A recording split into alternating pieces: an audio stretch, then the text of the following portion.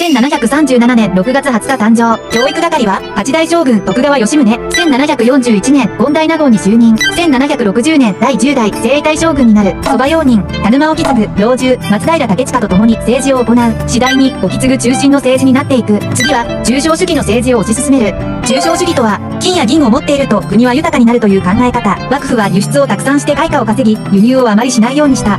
ただし当然、食料も入ってこないことになる。それでは困る。から、アダム、スミスが唱えた輸入を増やして生産物サービスを増やし、物お金の流れを良くする。そうする。とおのずと国民が豊かになる。その間、彼は将棋に没頭していた。1786年、勝手による。心不全で死去。実はおきつぐに毒を盛られたという噂もある。それは誰